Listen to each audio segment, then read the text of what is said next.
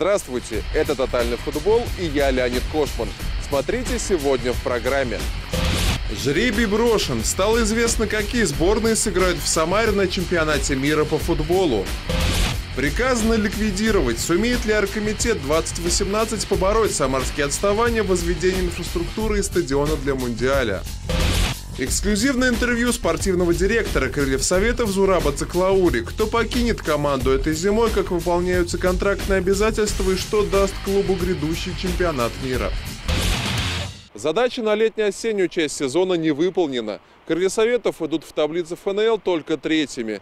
Как будет усиляться команда в зимний перерыв, с кем расставаться и как пройдут сборы, расскажет в эксклюзивном интервью спортивный директор Крылышек Зураб Циклаури. Трехмесячные долги по зарплате перед футболистами и персоналом футбольного клуба «Крылья Советов» наконец погашены. Игроки ушли в самый продолжительный отпуск за последние годы. Теперь команда мастеров соберется только 14 января.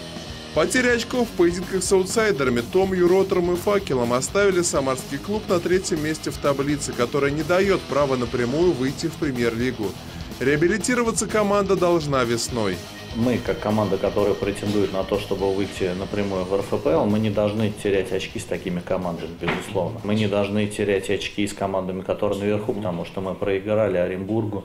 Причем, если вы помните, игра, когда мы играли в большинстве, мы проиграли Красноярску при равной игре, но тем не менее по результату мы а, проиграли. При этом конкуренция будет только нарастать. Синтетические поля Оренбурга и Красноярска дают этим клубам определенное преимущество и Красноярск, и Оренбургу, э, конечно, они, мы понимаем, что они хотят э, тоже, как и мы, попасть в российскую премьер-лигу напрямую. Очень огромный нюанс, я это говорю вам как бывший футболист, накладывает то, что они играют в манеже. Игра специфическая, игра специфическая, на специфическом поле. Э, конечно, команда, команда, которая уже привыкла к этому, к такой игре, она специфическая, мяч быстро очень ходит, да, ей легче. А, по сравнению с теми командами, которые приезжают раз туда играть, вот как наша команда, мы играем на натуральном поле. По оценке спортивного директора клуба Зураба Циклаури, условий бытовых и тренировочных, которые созданы в Самаре, нет ни одного клуба ФНЛ. По этим критериям клуб входит в топ-8 российской футбольной премьер-лиги. И футболистам а, грех, я думаю, жаловаться. Да, в принципе, они не жалуются. Да, были какие-то моменты, связанные там э, с небольшими задержками, финансовыми у нас в осенней части. Но хочу сказать, что знаете, как особо никто по этому поводу ничего не говорил. А, я не думаю, что этот момент мог сказаться как-то на качестве игры, потому что те мальчишки, которые у нас уже не первый год, они знают, что здесь в этом клубе, в общем-то, стараются а, все вещи, которые связаны там с финансовым затратами, все погашать.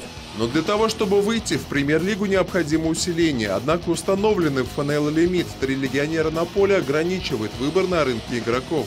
Уменьшает возможности клуба и лимитированное финансирование. Мы можем это делать только из внебюджетных денег, из спонсорских, из тех денег, которые мы заработали.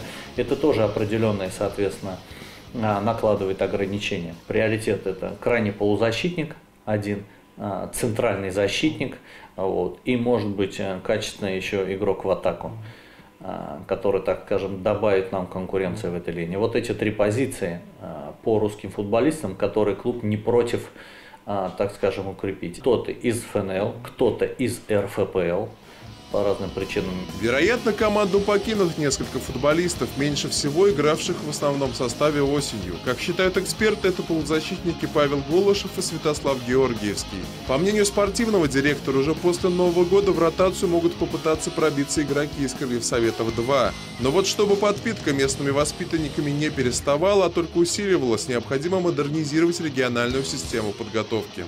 Откровенно говоря, качество э, тех мальчишек, которые приходят к нам из академии, качество тех мальчишек, которые приходят из центра подготовки в клуб, в команду второй лиги, оно оставляет желать лучшего, конечно. Многие вещи приходится, в общем-то, заново учить мальчишек. Дай бог, если все будет хорошо, другого, опять же, повторюсь, не дано, мы выйдем в российскую премьер-лигу, то мы хотим постараться, если будет возможность, сохранить команду Крылья Советов 2, mm-hmm. которая будет играть во второй лиге. Плюс по регламенту у нас будет молодежная команда. Может быть, эта молодежная команда, может быть, пока мы, так скажем, консультации проводим, размышляем по этому поводу. Может быть, эта команда будет у нас на базе Академии находиться. Обновленного состава планируется два сбора. Первый в Турции, второй на Кипре. Там команду разделят на две части. Одна будет играть в Кубке ФНЛ, вторая тренироваться отдельно. А первым серьезным испытанием станет игра 1-4 Кубка России с московским «Спартаком». Она должна пройти 1 марта в Самаре. Если погодные условия не позволят подготовить «Металлург», в качестве резервной арены заявлен республиканский стадион в Саранске. Уважаемые болельщики, смотрите обязательно «Тотальный футбол» и болейте за футбольный клуб «Короли Советов». Вот и стало известно, кто сыграет следующим летом на стадионе Самара-Арена, кроме российской сборной. В Кремле прошла жеребьевка финальной части чемпионата мира по футболу. Подробности далее.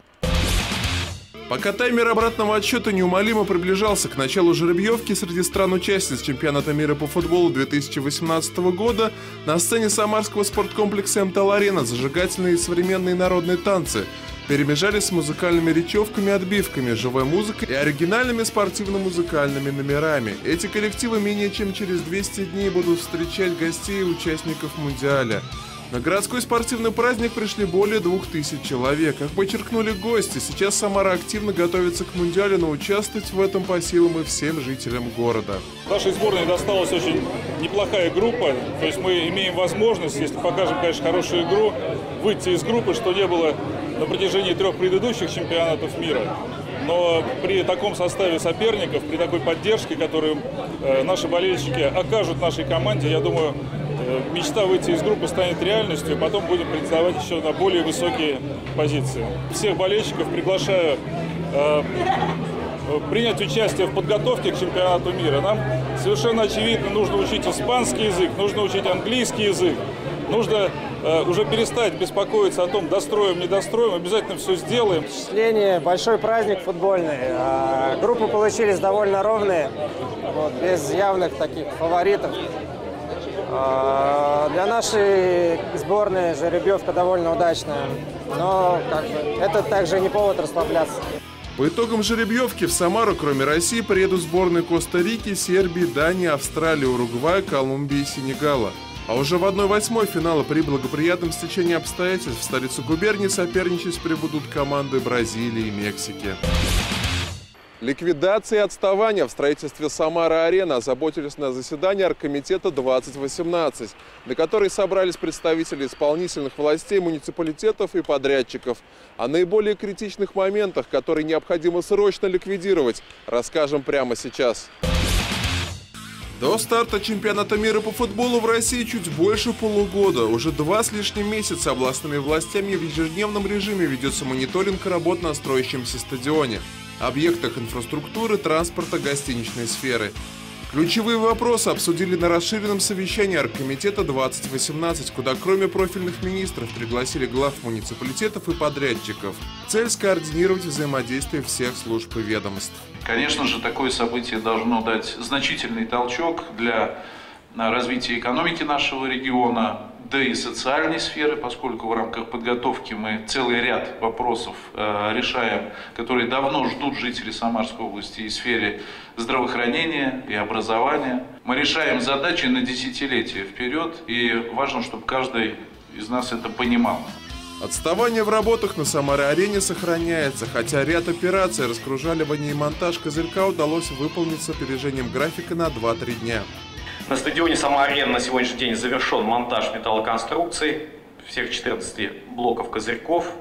А, на футбольном поле выполнено устройство дренажного слоя щебня, установлено оборудование для полива. К стадиону привлечено повышенное внимание высшего руководства всех заинтересованных структур регионального и федерального уровня. Также отставание от графика есть и в строительстве тренировочных площадок «Энергии» и «Восход», отклонение полтора месяца. В настоящий момент строительно-монтажные работы полностью завершены. Планируется ввод объектов 15 декабря 2017 года.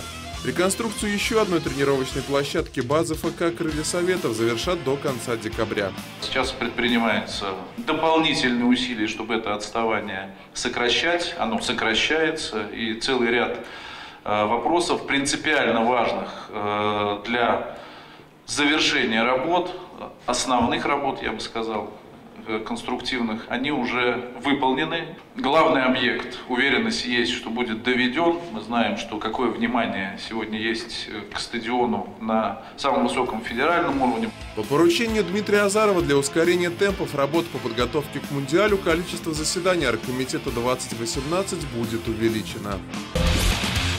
Это был «Тотальный футбол». Спасибо за то время, что провели с нами. Заходите на наш сайт trktr.ru и увидимся на футболе.